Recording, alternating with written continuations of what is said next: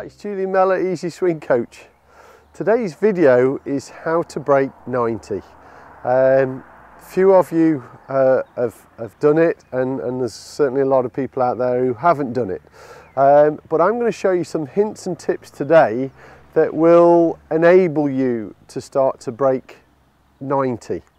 Um, now if we think of it logically, if we're playing a par 70 for instance, if we could shoot one over par on each of those holes, we're going to shoot an 88, which is broken 80. And what I want to do is show you some simple hints and tips that will enable you to start to achieve your goals and hopefully even better than that. But let's kick this off with what, what do we need to do to achieve this? And I like the idea of if we're prepared to achieve it, we've got a chance of doing it. If we hope we break 90, that's probably not going to give you the same outcome. So preparation is, is really important for this. So there is a bit of a mindset that goes with it, but there's also some practical things that we could be doing also. So the first practical thing is energy. So in my golf bag, I've got some water. We've actually got three bottles of water in here. I've got a little uh, protein bar and I've, I've got myself a banana. And quite, if I was playing in a tournament and knew it was going to take over four hours, I'd also might even have a maybe, let's say, a, a, tuna sandwich on brown bread or something like that. But certainly energy is important. So make sure that you've got your good stuff with you. Probably not chocolate. Um, the, the issue with chocolate is you get these spikes, uh, so you get a bit of a high once you've had the adrenaline rush and then it goes back down underneath the, the sugar rush, should I say, not the adrenaline. But then we get this little dip again, which, what do you think that might do to your mental state? So we get these highs and then we get the lows rather than being more constant. So the first thing you need to do is make sure that you've got some stuff in your bag that's going to supply you with the energy over the next four to five hours. So there's tip number one. The next thing that we should have done uh, before we even step onto the tee is just a few warm-up exercises. Um, I'm doing it here near my golf bag, I'll get a little bit closer. So the first thing that I would highly recommend you do is obviously the dance to golf for those who've seen how we start to move. So here we're actually naturally um, using the body correctly, which is what it would do in the golf swing, so there's a turn right and a turn left and the weight shift and all the other things that go with this one. So there's number one. I definitely wouldn't be doing this because that's not really what we want to be doing in the golf swing. That's tilting and, and reverse pivoting. So turning this way and this way is a good thing. Another thing I quite like to do is one foot forward, one foot back. Gentle stretches this way, swap the feet over, do something the opposite way, and repeat that three or four times, um, that simple exercise. And then again, another thing that I quite like to do is I'm going to lift my right leg and I'm going to turn right, and I'll swap over so this is helping with balance and coordination. Yeah. And doing a few of those, a little bit of stretching, just kind of loose, trying to loosen up the back, trying to get those hands nice and low. I'm not bouncing to do that, I'm just stretching, just letting gravity take me lower to the ground. Can't, can't be a bad thing. Um, if you've not had chance to go to a net to warm up, but you you know you need to get onto the tee fairly quickly. Um, what I like to do is I just need to get my, my muscles going. So I tend to grab two clubs, even three sometimes, depending on how I'm feeling, and just start to swing them nice and gentle. Just starting to warm up the bigger muscles.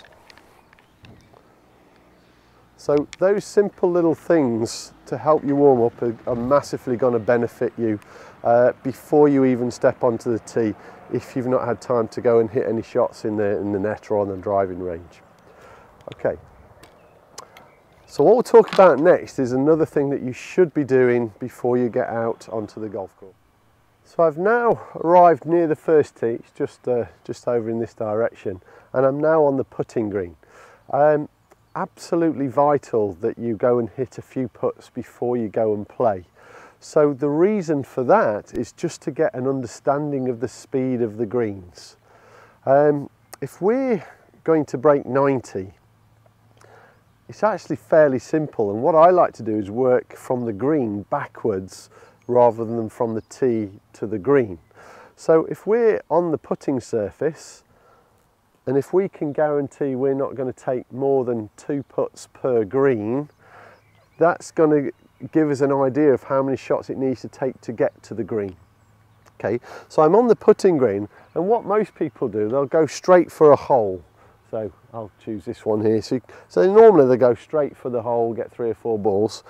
And if they miss the first six balls, you start to get a little bit downhearted already. You think, oh, this is going to be a bad putting day. But actually, I, I would highly recommend you don't do that to start off with. What you want to do is get a feel for the pace of the green. So I'm going to put, I'll go this way just, just so it's easier to see. Um, so what I'm going to do now is just got, I've got three golf balls here, I'm just going to put them to the fringe of the green. So I'm not going for any particular target, I'm just making my normal setup and I'm just getting a feel for the pace of the greens. So I'm trying to get these as close to the fringe as possible. Now those three golf balls, in fact I'm going to show you, now, there they are, all pretty close to each other right on the fringe of the green. So I'm starting to get a feel for the speed of the greens, which is vital. So if you go out onto your golf course cold and let's say yesterday you played last night and they hadn't been cut and then you've played this morning they've been cut and rolled they're going to be a lot quicker so you just need to get used to the pace of the greens so that would be my first thing and what I would then do is start to practice some longer putts to the fringe of the green rather than to the hole again because we become obsessed with trying to hold the putt rather than making the correct putting stroke. Now as we're going to go to the first tee. Okay, so you've done your preparation, you've got made sure you've got your energy um, supplements in your golf bag. We've, we've got used to the speed of the greens, we've warmed our body up. Now on this hole, let me just describe to you what's in front of us. So here is a, it's a 198 yard par three. So quite a, quite a long hole for the first hole.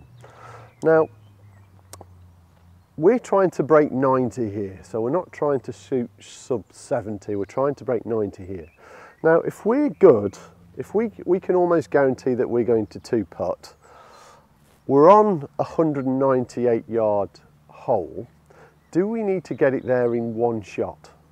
If we can get it on the green in two and two putts, we've made a bogey and we're on, we're on track.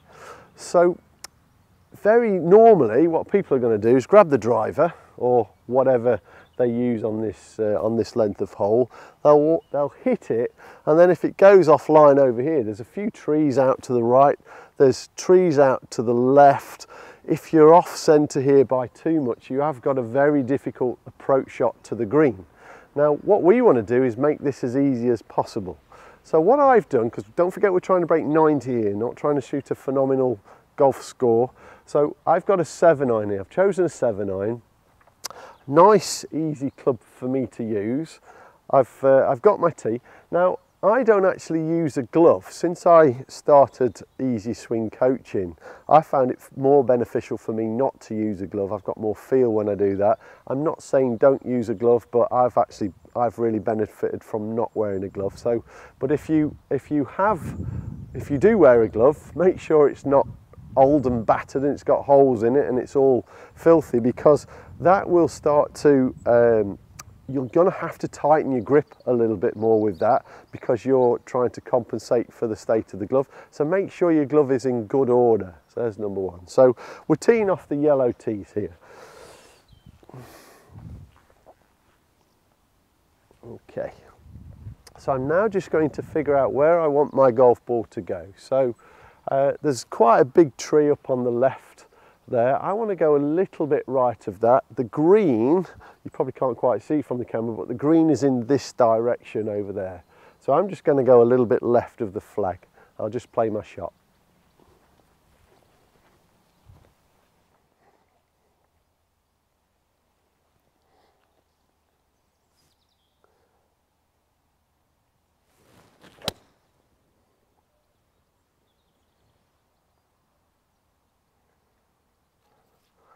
That ball has gone slightly to the right. I'm in kind of the edge of the trees, but let's go up there, find out where it is, and then we'll show you the next shot.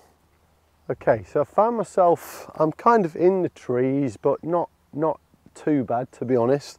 I've certainly got a nice free swing from here. I've got about 40 to 45 yards to go. Hopefully from here you can just see the pin which is, is, is, is just this side of the tree.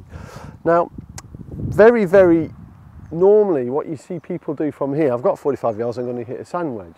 But if I do that, the canopy of the tree is going to get in the way. So I need to take that out of the equation. So I'm going to play a shot that's going to land short of the green and hopefully run onto the green. So my sole aim here is to find the green with this shot.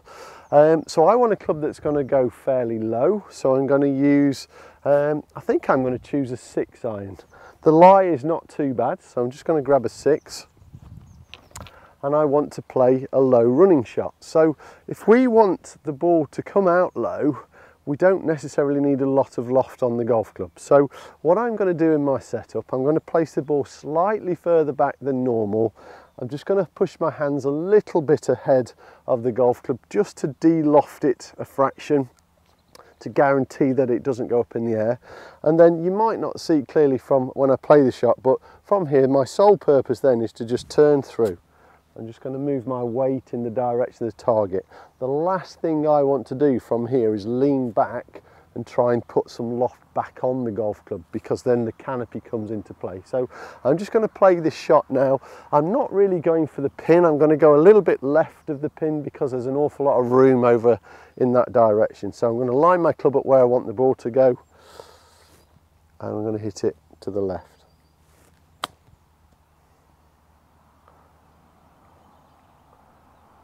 And that's just run through the little bit of semi-rough up the little bank and it's finished on the front of the green probably about 15 feet away. So let's go and play that one. Okay so here I am on on the green. Um, this putt breaks a little bit from left to right. Um, what I've done before I've changed the camera I've actually walked past the hole and looked at the line from the other side back to this way but I'll show you that on a on one of the, the next holes. So all I've got to do now is two putts. So my sole purpose for this putt is to get the ball as close to the hole as possible.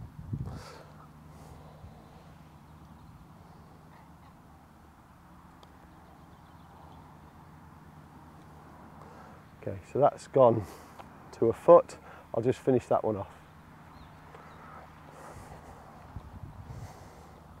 Okay, so that's the first hole played. It's a par three and I've just made a very comfortable four on that one. So I'm only one over par to start off with. So this is part one of a three series video that we're making about breaking 90. If you click on the link below, that'll take you to video number two.